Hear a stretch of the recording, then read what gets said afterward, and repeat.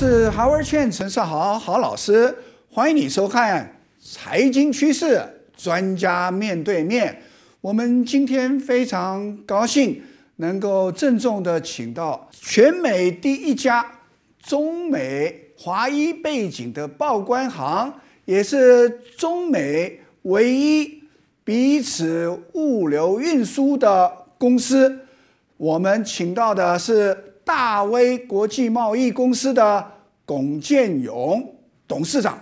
大卫贸易公司是全美国集合电商和技术集成合作的一个新型公司。我们今天非常高兴请到龚建勇龚董，他物流这个行业从事三十余年，专家中的专家。我们请到龚建勇龚董，请龚董为我们。电视机前面的朋友打个招呼。谢谢。嗯，大家好，非常高兴来到优势的节目。啊，谢谢你们的邀请，也希望利用今天的机会跟大家、跟主持人做一个交流。好的，非常好，谢谢龚董。那我就问一下，时下最热门的话题，那就是中国上海 lockdown，全球。有部分地区都 lock down，特别东亚，中国现在有二十八个省份软性封城，所以我们要问一下龚董，对于产业物流现在到底有什么挑战，如何应应呢？上海封城封闭的状况也出乎所有人的意料，嗯，出出现了很多问题，这些问题主要是民生问题，啊，而不是说简单的医疗问题。这民生问题体现的最突出的就是供应链的短缺和供应链的问题造成啊民生的疾苦。当物流不顺畅，这供应链就不顺畅；供应链不顺畅，经济生活和民生就不顺畅，就会带来甚至带来危机。而且呢，这个从我们这个属于在一线啊直接参与这些操作的这个从业者来说，嗯，呃，我们感受到了。这两年的巨大的变化，成本增加，交通受阻，人员短缺，呃，各种各样的这个政治政策和管理，直接造成了供应链的啊一种半瘫痪状况，或者是成本高企，造成了很多经济问题和民生问题，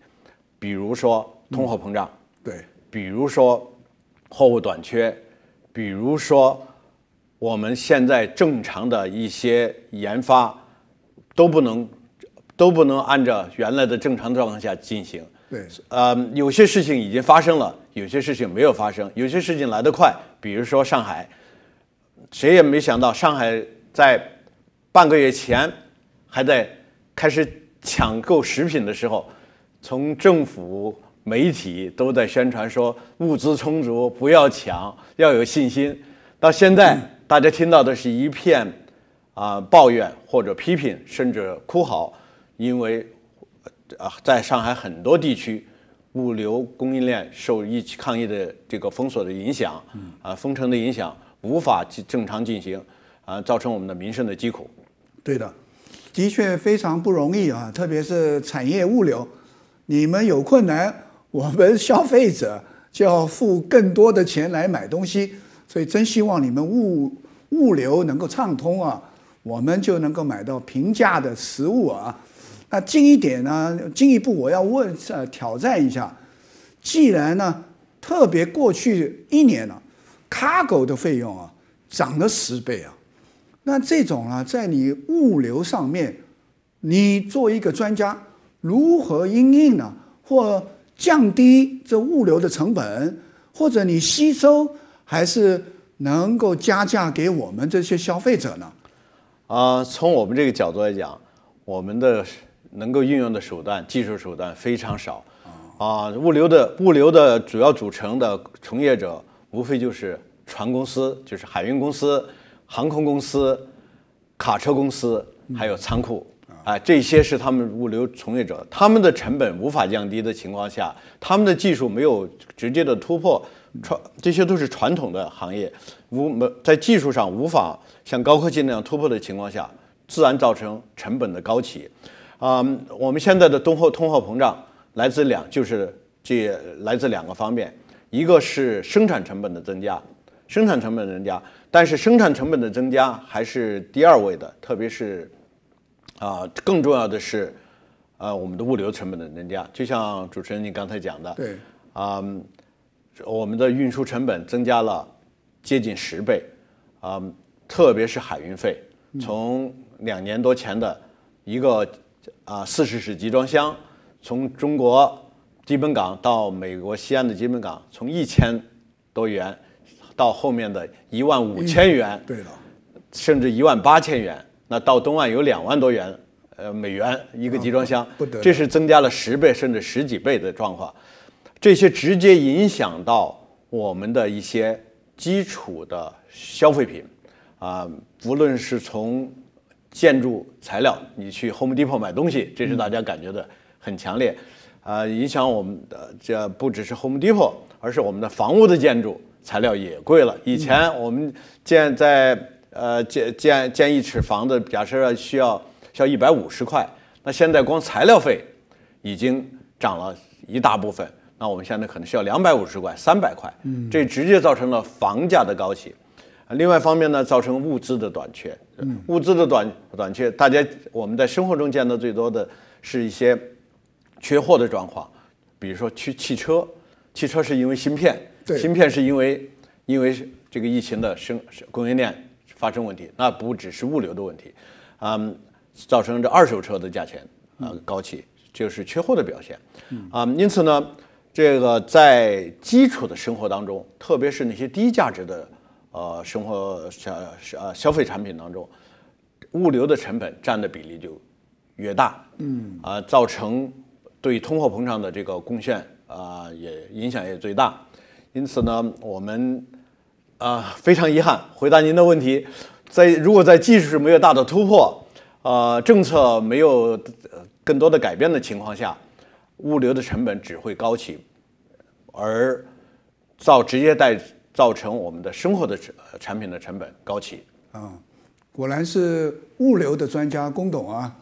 直接的点出时下的问题，供应链、交通链，还有整个人事的结构性的问题，并不容易解决啊。好，谢谢你，特别点出上海 lockdown 对我们美国的影响。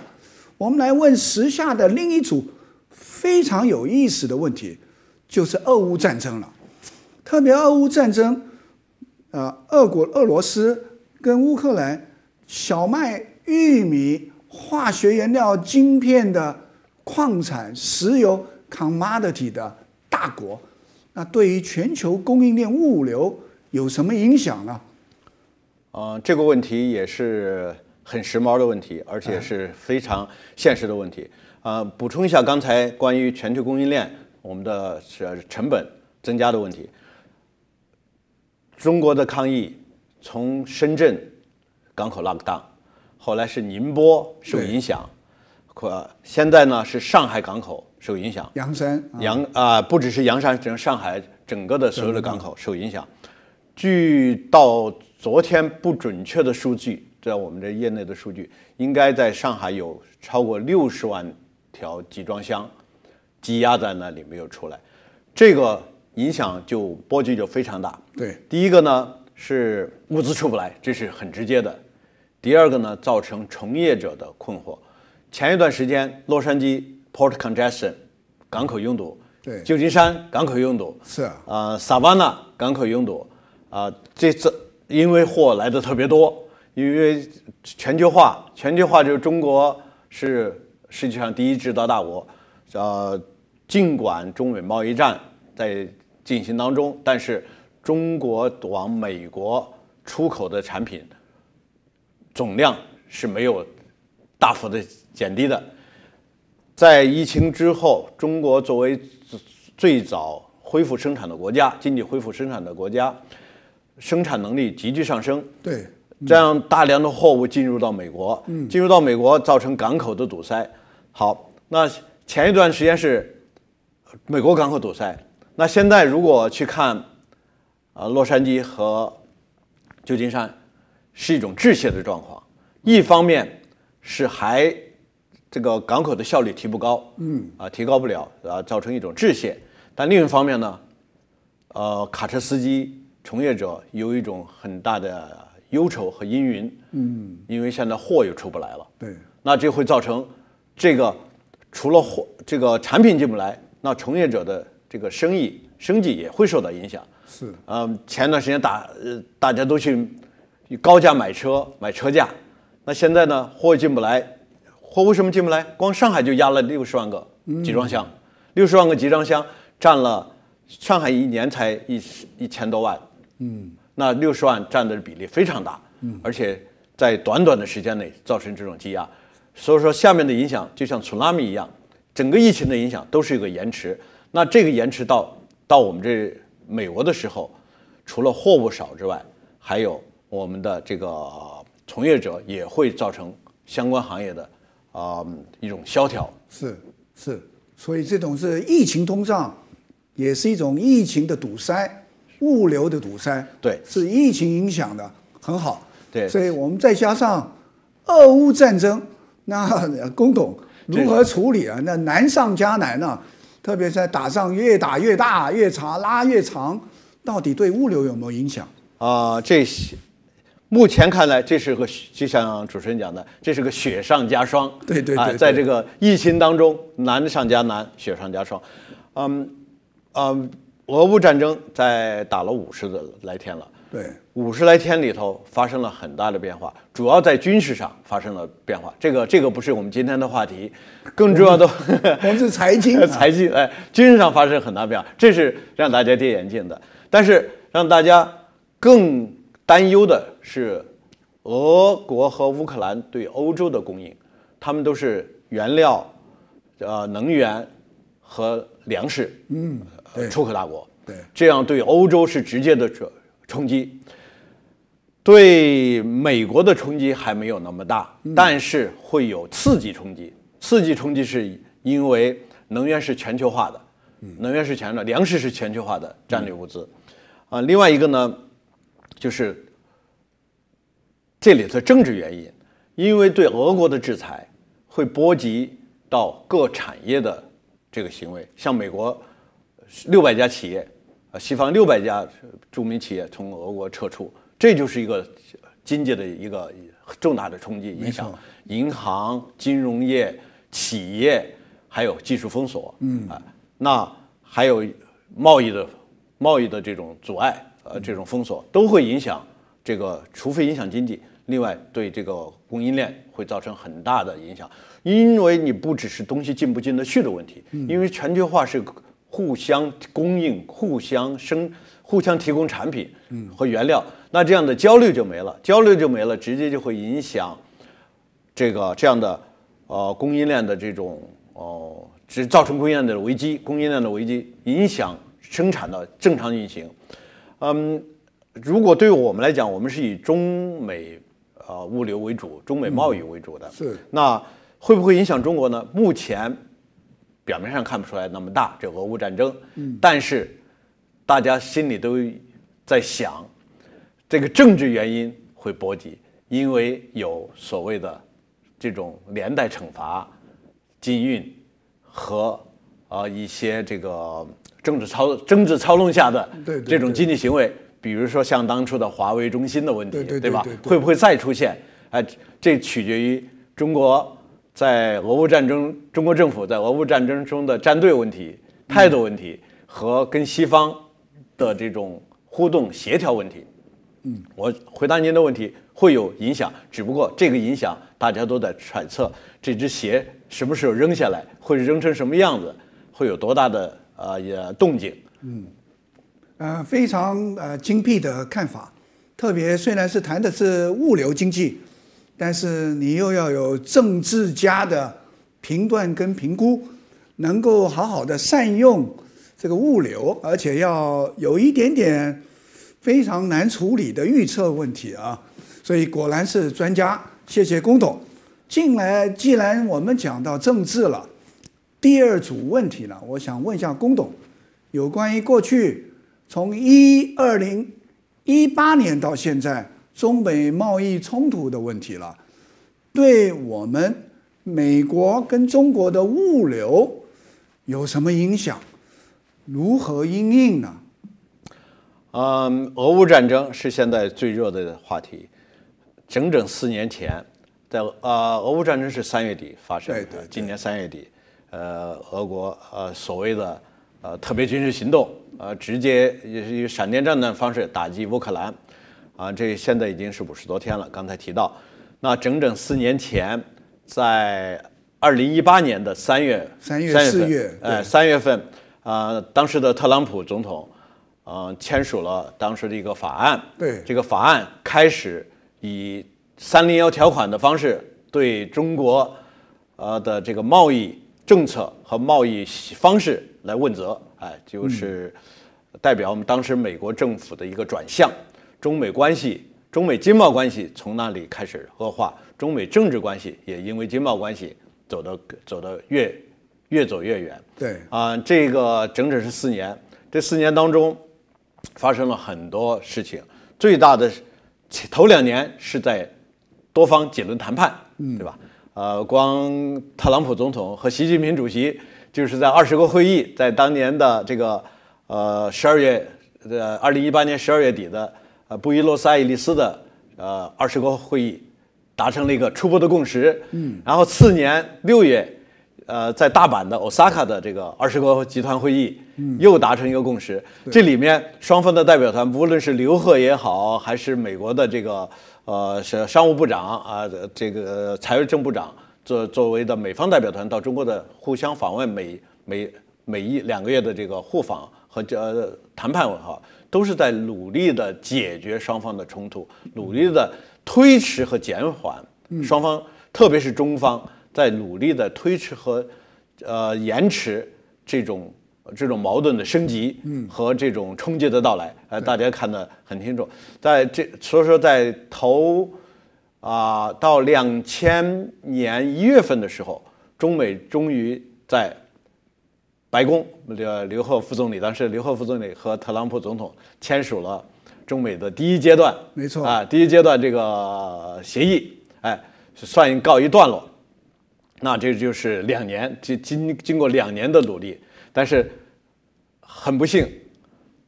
两千年一月份之后，疫情又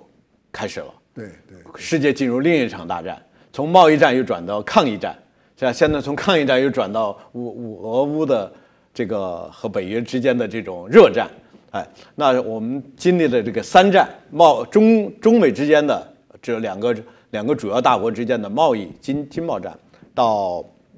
到全球的呃全球卫生公共卫生危机的这个抗疫战，到现在的我们的这个呃热军事上的热战，这里头这四年发生了太多的事情，嗯，在后面呢，后面的这个这呃这这个中美中美的这个关系，中美的这个呃这个物流的关系，贸易的关系。都受到了重大的影响，受到政策的影响，这个成本高企。回答您的问题，这个成本主要被美国的消费者承担了，这是造成通货膨胀的一个原因之一。嗯，呃，其次由中国的制造商和出口商承担了。我想啊，不能说一半一半吧，美国的消费者承担了大头。啊，承担以通货膨胀的方式来接呃接受这个高物价，中国企业也受到很多的打击。嗯，虽然总的出口额没有减少多少，但是很多行业、很多行业、很多呃出口企业受到冲击。你知道，中国是三驾马车，出口是一个主要的这个拖动这个经济发展的这个马车。啊，无论是从政府到民间，从经济到政界，都非常重视这架马车的正常的运行和和它的这个健康状况。中美贸易又是嗯中国对外出口的一个主要主要呃对象，对，因此离不开中美的关系，离不开中美贸易。因此呢，呃，在这两年的这个说到现在应该是四年吧，嗯，四年的这个。这种博弈当中，啊，双方都没有赢家，啊，美国我从我的个人的判断，美国在这方面没有达到他预期的惩罚的效果，中方呢也在这个过程中受到很相当的损失。不过这个这个贸易战会不会继续进行下去？啊，这是我们在一直在观察。呃，呃，特朗普总统虽然离开了白宫，但是呃，拜登总统采取不同的策略。嗯，但是他的贸呃贸国际贸易代表戴奇女士，戴戴奇女士对中国采取的手段还是基本上沿用了啊特朗普时期的这种贸易政策，还是以惩罚性关税为主啊，建立贸易壁垒。不过呢，他更。嗯，跟着这个，把拜登行政当局的这个策略，更注重与欧盟和盟友之间的这种互动。嗯嗯，如果说这个这个问题会不会继续恶化，我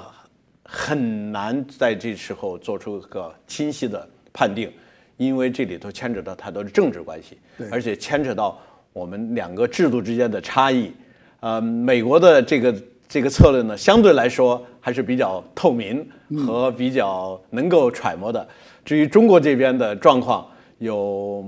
有它的制度问题，也有民族主义情绪问题，也有实际的国情问题。那我们就比较难判断他用出什么招和用什么方式来跟美国做下一轮的博弈。不管怎么讲，现在我们在一个新的十字路口，啊，中美贸易战会往哪方面走？是？继续沿用，呃，已经不太奏效的关关税呢，来增加大家的成本呢，还是用其他的技术和呃金融的手段来往下进行？我们有待观察。嗯，果然是非常难处理的问题哈。如果两个政府官员都很难处理的话，我们这些做生意的，果然是在呃富中啊险中求啊，是吧？所以。龚董其实是非常不容易的。那你可不可以简单提醒我们观众朋友，你是如何应应这种很难揣摩的两个国家的政府，如何应应你的物流管理呢？呃，我我们做的方向是以中美为主，但是呢，也兼我们是以国际贸易呃的物流为主，但是呢，也兼顾。兼顾非中美之间的这个物流，也兼顾美国境内的物流。举个例子，现在电商发展的很很快，对，哎，对，e-commerce，e-commerce logistic，也就是电商物流也应运而生。嗯，所以电商物流会造成造成一些新的啊业界的生态。你不能说它的这些呃服务是新的，但是它的生态是新的。举个例子，海外仓的概念。嗯，海外仓，海外仓其实就是原来的仓库的仓储的服务，但是呢，用于做用来专门服务于啊来做国跨境电商的这些厂家或者说出口商，在美国境内的这些货物的存放和派送，电商物流是跟我们的疫情直接相关，因为大家都 lock down 或者说避免。这样避免正常的这个大规模的这个群聚，是那这样促成了这种亚马逊的报这种宅购物的宅宅购物，对，呃，网上购物，呃，我虚拟的东西，但是呢，当然我生活不能不能虚拟，你吃穿用都要实体，因此呢，这个商业化原来的这零售业受到巨大的冲击，但是相在另一方面，硬币的另一面造成了这种网上购物的巨。爆发性的增长，网上购物的发展完全依托于这个网这个电商物流的支撑。嗯，因为网上购物很容易，那平台也很容易，因为那个都不是没有任何技术门槛，很容易写出一个门户网站的这个软件平台软件，也很容易去开在网上开个店。哎，现在各种不不只是 Amazon，有 Wayfair，有 Shein，有有境外的，有美国的各种各样的网上电商，蓬勃发展。而且大家，大家也不单是年轻人、中年人，甚至现在是一些老年人也适应了的网上购物。嗯，那网上购物的最大的支撑，刚才我提到了，就是电商物流。那作为在电商物流，电商物流就是两点，啊，除了供应链、跨境的供应链和本地生产的供应链物流之外，更重要的是，仓库、仓储和配送的发展。那不不只是 FedEx、UPS 这种传统的，那 DHL、TNT 这种传统的啊快递大鳄在进行，而进行这些服务啊，那是是包裹类的服务。那现在传呃，原来作为贸易行业的这些卡车公司、零蛋卡车公司都参加了进入到这个呃这种电商的配送服务。那我们的仓库，我们我们这个行业出现了一个新的状态，就刚才业态，就是大家都去做电商，很多人去做电商的仓库，做海外仓，嗯，做卡车配送，嗯，哎，造成了我们新的业态。这些业态是我们一个生存的一个啊，也算一个一个契机。对对对很多人很多人本来是受了冲击，但是我们不像餐馆，餐馆一下就被 lock down 了。那我们这个行业很多人其实转转方向，嗯，哎，转方向呢，那在在这个疫情当中，不但没有很大部分企业没有没有受到呃影响冲击，嗯嗯，呃，反而在这个疫情期间呃成长起来，而且还有更多的生意做，嗯对对呃，在在更大的发展。不过这个发展也是一个动态的，啊、这是刚才我讲了一个电商这一块。第二块呢，我们这个物流企业呢是在呃，在我们这物流企业，我这物流物流企业很广了，从航空公司到船公司。那航空公司、船公司一方面受呃抗疫的防疫的影响，港口呃停工的影响，港口 lockdown 的影响无法动。但另一方面呢，他们有自己的垄断优势。我先从 carrier 这个讲起，carrier 它有垄断优势，它可以加钱。嗯嗯因为大家必须需要这些战略物资，必须需要这些生活用品，必须需要这些原料和成品，所以说他们可以加钱，所以说就造成我们刚才提到的，刚才提到的这个海运费几倍、十几倍的增长对，空运费几倍的增长，对。哎，这样呢，这呃对海运业者来说是去年这两年应该是一个盈利之年，嗯啊，对。呃不，我们这些呃，大大家都听到，哎，长荣的船在苏伊士一挡一罚就是十个亿，但至于后面交没交十个亿，那是次要的。但是从这个数字来说，老百姓就知道，哇，他一定很有钱，赚大钱 呃赚大钱，要不一罚就罚十个亿，对对哎就是这样。航空公司、航空业，啊，客运也受到重创，是啊，但是但是货运业啊也也也受到影响。不过呢，货运业做了很多补充，特别是在对空运这个行业的话，港口 lockdown 会给空运带来更多的生意。嗯，呃，除了原来空运只是运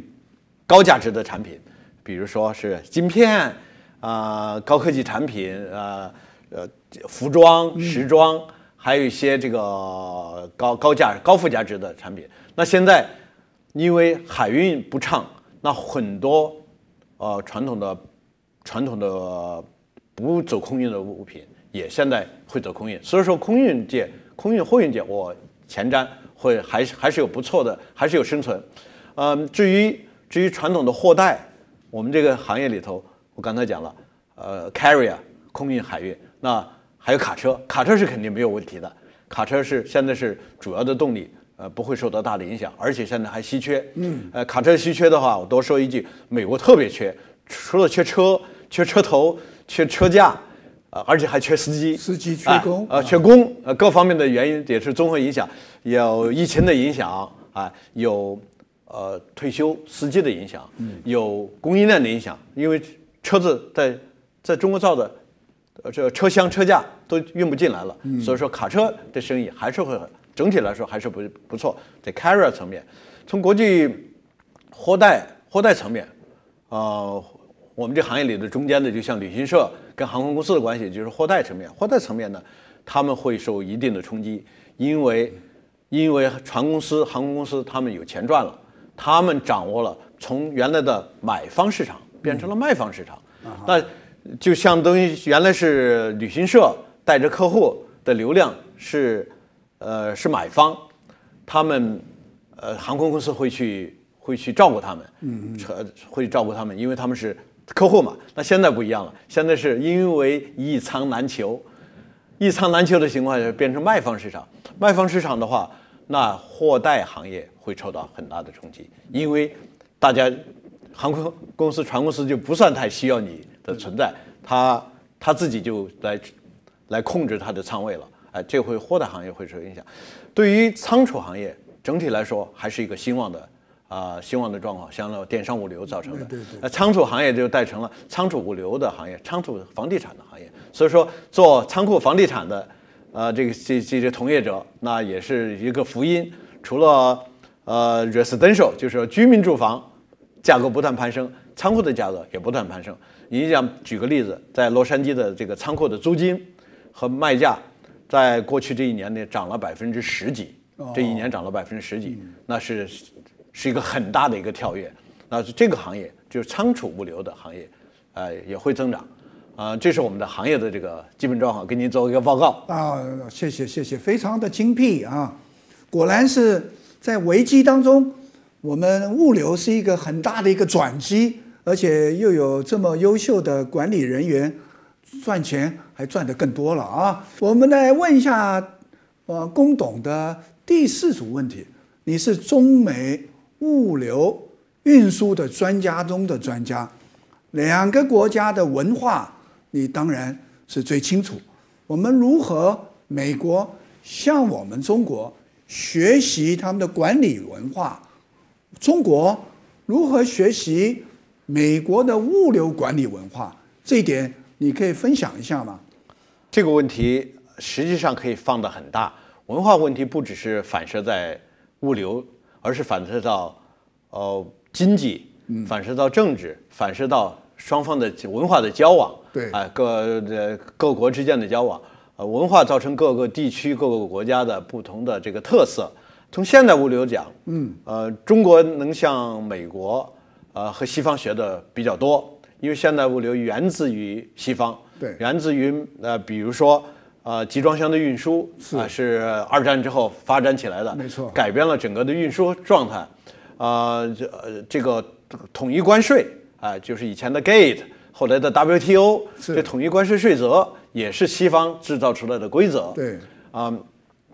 在现在的呃呃，像一些管理技术，物流的管理技术，比如说日本的 JIT 啊、日本也算在经济上也算西方了，啊、也是我们是是物流管理的一种一种一种很好很先进的技术，一种管理的方式，啊、那我们这里头物流这方面牵扯到技术和管理方式。那我觉得中国向西方可以学的，从整个的管理理念、科学化，嗯，啊、技术的现代化、自动化、智能化，呃，呃整个协调运作的这个从政策层面管理的这个社会化和系统化的问题。嗯我倒补一点，我从事这个行业已经三十多年了对，我到美国已经做了三十年。嗯，在中国我做过船东，啊、呃，做船呃船东的经营，就是管管船、管飞机。其实飞机我也管过，但主要以船运为主，啊、是船东，啊、那个国际海运，啊、在呃也在贸促会做过，做促进中美的贸易，不止中美，中国和海外的贸易的发展。嗯，在到美国来，我又开了第一家呃，在大陆人在这边开的美国报关行，是。啊、在这边也做了很多这接近三十年的货代、呃报关、嗯、仓储，到发展到现在的电商物流，嗯、在整个的从业当中，嗯，我发现中美之间在不断的交流，是。中美这中国不断的学习西方，西方呢在向中国不断的输出，除当初的啊、呃资金技术之外，还有一些很多管理理念。那我觉得中国的物流行业从西方学了很多，嗯，从货代制度到清关呃报关的制度，这些的改，中国政府对这些行业的规范的改变，也都是代表着向西方学习的一个过程。哎，我也亲自的参与到这个整个的呃学习和改变的过程当中，呃有幸成为其中的一员，也我觉得在里头也也做了参与，也做了一点点贡献。嗯，中国在发展起来之后，也有很多值得美国人也发现，哎，中国人学得很快，而且呢，它的管理模式出来，甚至技术模式出来，也有更大的效率。我觉得美国看中国的发展，一个是高速发展，这高速发展来自于哪里？嗯，来自于向西方开门的、没有保守的，在技术层面和管理方式的层面的学习。啊，同时中国又利用自己的文化是和它的制度，啊，无论是政治制度还是管理制度，对员工的、对这个劳资的管理比较高效，比较高效和比较啊、有序。是。啊、这样呢会，那这样造成的这个我们看到的啊、high productivity，中国的这个物流行业的 high productivity 来自于两方面，一方面来自于技术的用最新的，嗯大胆大胆的用最新的。啊、举个例子，港口。对对对，啊，一九九几年的时候，九十年代初的时候，我参与了把奥克兰拆下来的那个吊机 Top Crane，就是集装箱吊机拆下来，往哪里走？不是当废铁，是运到中国去。中国来，运到中国，运到中国的二线港口，啊当做很好的机器、很先进的机器去用。美国已经用了几十年了、哦啊，奥克兰的机器。是但是现在这些年我们做的那是九十年代，在二十年之后，我们参与把中国大陆生产的港机、吊机运到奥克兰来，这二十年是个翻天覆地的变化。啊，不对，我们以前说三十年河东，三十年河西，这不到三十年，呃，这个中国已经对，也就二十年已经翻过来了。看我们的海湾大桥，是整个的钢结构是我们呃这个中国做的，啊上海振华机械。那你看呃我们的奥克兰港，看长滩港，看我们美国的很多港口的港机也是中国的，中国啊制造也是中国制造。那这个就是二十年的大的变化。是那这里头有没有值得学习的呢？有，这个值得学习的就是我们的技术、生产能力、制造能力的快速提升，质量的快速提升。这里面牵扯到两方面，刚才我讲了，第一个是啊、开放的技术，呃，大胆的大胆的使用，不成不墨守成规，因为还是刚才以这个 Bay Bridge 啊、这海湾大桥为例，海湾大桥为什么建建这么久呢？一方面是美国西方精益求精，质量优先，一层一层的合规监管，但另一方面也是在技术上比较保守，在施工上更保守，在啊、这个管施工团队的管理上就更更不只是保守了，应该说是有点落后了。那这美国的港口的管理也是相当落后的，是。在特别是在劳资上，哎，这个我不能说工会一定是怎么怎么样阻碍，嗯，呃，对美国的发展的这经济受阻碍，但是起码现在工会已经成为一个啊、呃美国高速发展的啊、一个拖后腿的一个一个一种实力，特别是港口港口的这个工会啊、其他的工会呢，那我们就不讲了，纺织工会、钢铁工会把这个行业制鞋公司，哎，都这整个行业都拖垮了。那港口呢是不能牵扯、不能搬走的，不能搬到东南亚，不能搬到中国去的，它还是要在这生存。所以港口工会在这里头是坚如磐石，就地头蛇在这里。但是呢，这里面的这个因为这个制度原因，说工会是其中的一个制宪。那今年又是要续约了啊，这个西岸这些呃长滩也好，洛杉矶港、奥克兰港、旧金山港、西雅图港这些西岸都要重新谈合约了。嗯，下面面临着啊、面临着现未来的几个月又面临着一些未未知数。刚才我们提到一个雪上加霜，这又是一个雪上加霜的，对我们这个供应链就是雪上加霜的一个一个一个一个一个打击。继续谈，美国还可以呃向中国学什么东西？哎，刚才的话呃 就是讲劳资管理这方面可以有一些呃，当然了是在讲究人权和讲究人性化的情况下，那我觉得还是有可以改进的地方。是哎，这样呢，免得我们的工作效率低，成本太高。我们的港口工人啊、成本是非常高的啊、他们的收入是连这些硅谷的一些马龙都会吃惊的，大家想不到的。哎，所以说作为一个蓝领儿啊、blue collar 的 job，他拿那么高的薪水，但是产出那么低，是我们中国工人的上百倍的这种薪水，那这自然就会影响他的生产效率和他的运营成本，这是一个。另外一个呢，文化，嗯，文化就是中国东方的文化，包括日本，这这个日本就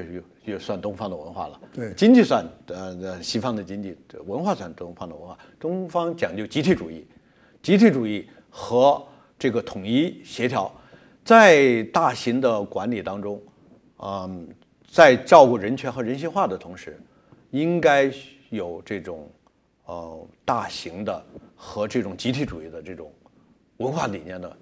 这种精神的输出。这点我们不论是来自是中港台的人都懂。这个方面，我们美国这方面有，因为讲究个人主义嘛，所以说做的还不够足够。是啊，所以说它效率呢，它虽然有很多高科技，它很多很好的管理理念和效率啊、但是呢，它没有发挥出来，这是要向中国学习的啊、这方面。所以说，从技术的大胆使用，呃，施工方案的大胆推进，当然在保证质量的前提下，对呃，还有这个劳资劳资的关系和这个呃劳工团队里的这精神文化的这个我企业文化的这种培养方面，我觉得美国企业可以物流企业可以向中国企业学习很多东西。啊，太好了，太深入的、非常精辟的看法。硬体上面，中国事实上大胆应用高科技，当然无人化的港口；软体上面，大中华甚至东方的儒家、功劳资的和谐、社会集体主义的观念，塑造了现在中国进步呃经济的不断进步啊，非常好，谢谢龚董，非常好，呃，我自己都受益良多啊。最后一个问题，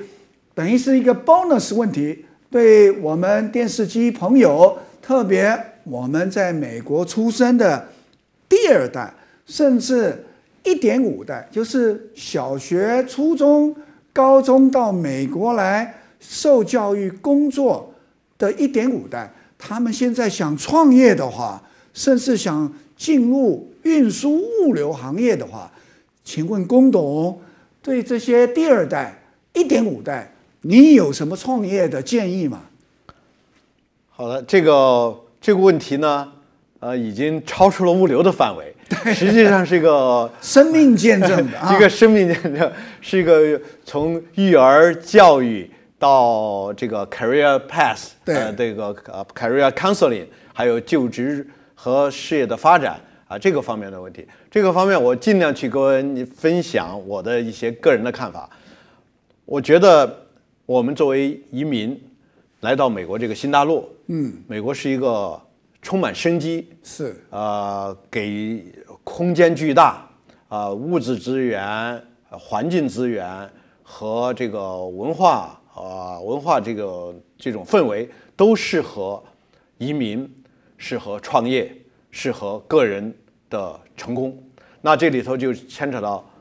三个三个要点，第一个是移民来怎么的来落地和发挥。那我们讲了，这是个好的一个新大陆，我们应该来这个地方环境。第二个，作为移民的第二代，怎么样去发挥自己的优势？是第三个，呃，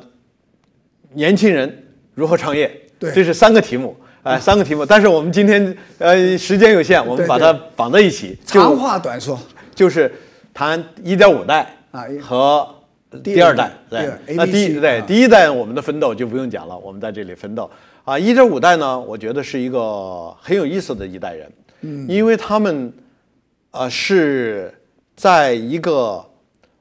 交界当中，一个交界当中，嗯，他们既能够讲中文，也能够讲英文，流利的中文，流利的英文，了解很了解中国文化，因为父母都是自己都是在中国出生的，所以说非常了解祖父母在这种家庭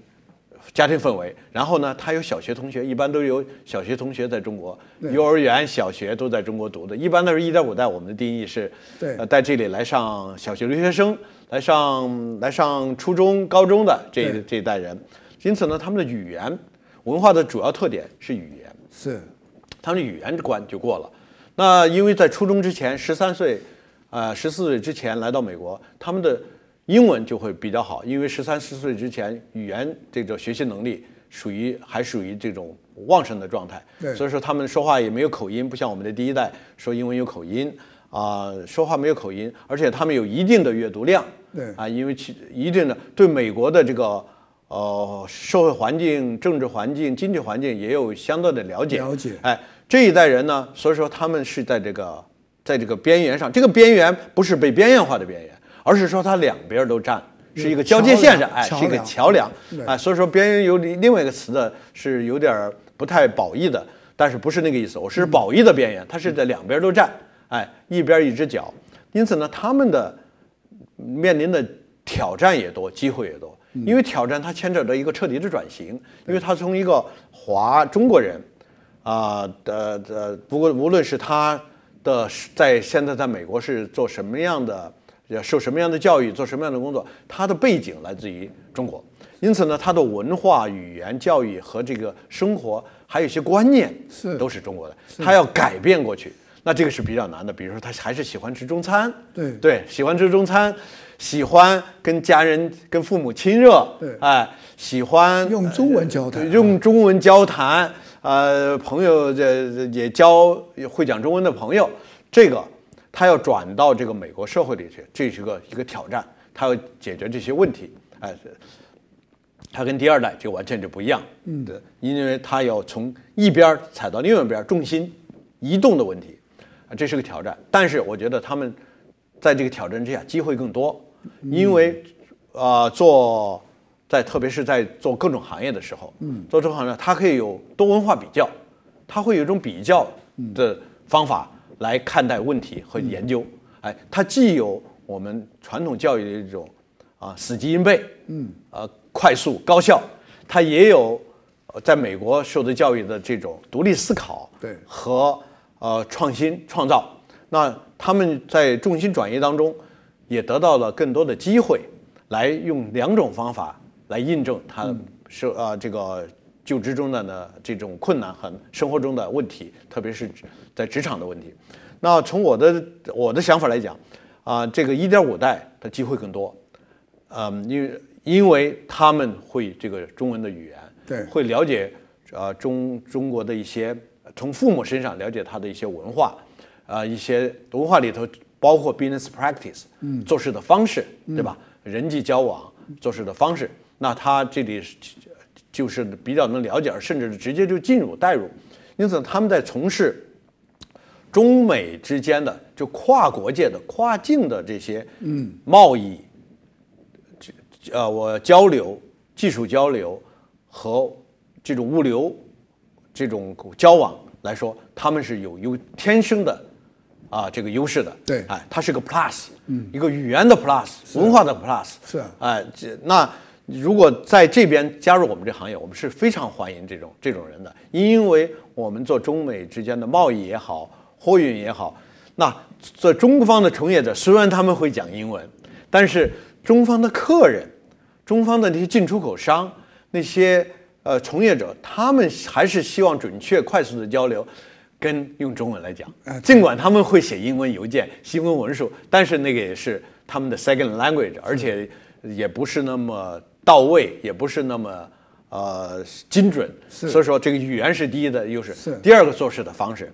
这里的人如果他是一点五代，他会理解中方的客户也好，同行也好，或者说 vendor 也好，供应商也好，他们的需求的那种表达方式，那种急迫性，或者是那种着急的心理，或者说他那种 push 的心理，你比较容易理解。如果是在美国人，他就接受不了 Why do you push me so hard 这种情况就会避免。那这是他们的很大的优势。所以说做做做这种交流，特别是我们这个物流行业，我们很欢迎这种一点五代、1.5代一点五代的人来来加入我们这个行业。二代，我的 advice 应该更，他们已经完成了重心的转变，他们已经是一个 A B C，他们从文化理念、生活方式、做事方式，他们完全接受了这个美国的这这一套习惯，所以说他们没没有没有沟要跨，没有 challenge，但是呢，他们比当地的美国人进入这个跨境的行业还是有好处，因为哪怕他即使是即使是第二代，但多多少少受他的父辈的影响，多多少少受寻根的影响，多多少少受他的面容的影响，他会去对对这个中国文化产生强烈的兴趣，有这种去了解、去学习的，或者甚至去接触、去去理解，甚至去合作的这种愿望，因为他有天生这种愿望动力啊他有这个动力，因为他知道他在美国，别人也把他看作呀，呃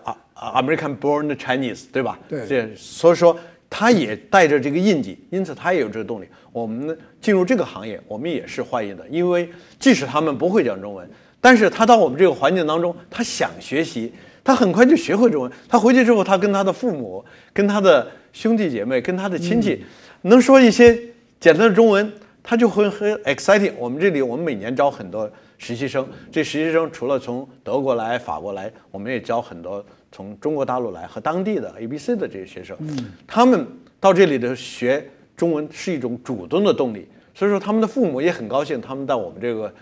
公司环境里头，因为我们有一半以上都是呃这个讲中文的人。啊，他们有个很好的语言环境，而且呢，他们又跟上海、北京、天津、大连、青岛、深圳、厦门、呃广州这些港口港口打交道，他们对这些地方也就熟悉了。所以说，他对这些不不论是各种文化，广东的饮食文化，北京的金金 片子文化，上海的这个海派文化，他们也都会感兴趣，对吧？这样呢，他们有机会肯定也会去旅游。他如果进入到我们这个行业，他们非常高兴能够借着这个我们这个机会来去学中文，来去了解中国文化，来去了解中国的中国的这个经济、中国的政治，哎，更多成为中美之间的一个桥梁。所以说我我觉得这这一点五代和二代、二点零代都很适合于做这种跨境的交流，也是很适合于做我们这行。关于创业这部分，创业这部分呢，美国是一个很好的土壤，嗯，土壤好，空气好，这个环境好啊，这这指这个创业的精神，还指我们的这边的这个环境，比如说 VC 对吧？啊这，Angel 这种这种这种金融的环境，能够可以有母乳来来以来滋养他们。还有一个，大家美国的这个美国人的这个这种鼓励标新立异，鼓励否定哎哎，对，鼓励否定这个老套，呃，创新，这个是很好的环境，特别是我们的湾区，哎，在加州，特别是我们的湾区，作为硅谷是个美国的高科技中心，同时也是创新中心，当然了，也是我们的这个创业的一个最好的一个环一个一个环境，孵育出无数的高科技企业，也孵育出无数的新式的，不只是高科技，而且是新式的这种呃这种模式，这种商业模式，哎，那呃，在我们这行业里面，呃，在各个行业里都有啊、在这个孵出孵化出这些呃这些嗯独角兽的这种样的企业，哎、像我们这行业里头就有一个 Flexport，Flexport，它就是一个传统的货代行业，跟我们一模一样，但是呢，它借助高科技的这个这种环境，用高科技的方式、技术的方式，像您主持人刚才问的，怎么样去提高，怎么样改变？他们就是努力的用这种信息化啊，这种网络化，和这种嗯统一的整体的呃整体的这种技术的方式来解决传统物流和贸易当中出现的各个环节的资讯、数据、呃信息和这种多方面的呃各方面的协调问题，还有文件问题。那他们这是一个创新。好，这是举了一个例子了啊、倒是没有其他的特别原因，就就是各个行业在硅谷都能够找到自己的创新的。那在中国大陆出现了那些高科技企业或者那些创新的方式，其实很多都是从中国中啊从硅谷回到中国的。哎，我在这个这三十年中也见到，呃，见到很多这样的企业，也参与了一些企业的这种这种孵化和这种转变迁，哎，回到这回到中国大陆，嗯，所以说，美国是一个很好的一个创业园地，对我们的华人的二代，一点五代也好，二代也好，我们有我们自己的优势，啊，我们聪明、勤奋，而且呢又能吃苦，加上我们这种文化的优势，我相信我们的一点五代、二代会在这里有更大的发展空间，广阔天地大有作为。哇，太好了！各位电视机前面的观众朋友，你今天是不是听到一个非常物流管理的响应呢？特别最后的一题，对于我们的一点五代的小孩子、第二代的小孩子，充满了激情的建议，希望你从这个节目当中得到非常的多。我本身就学习很多了，谢谢 Peter Gong。我们大贸啊大威贸易的总裁 CEO 到我们节目来畅谈现在时下物流还有运输的一切问题。你真的要将这个节目，可能不仅要看一次，你要看两次，而且介绍你的朋友一起来观赏。再一次的谢谢我们龚董，让我们今天得到太多了。再一次的谢谢你收看我们财经趋势专家面对面，我们下次再见。谢谢。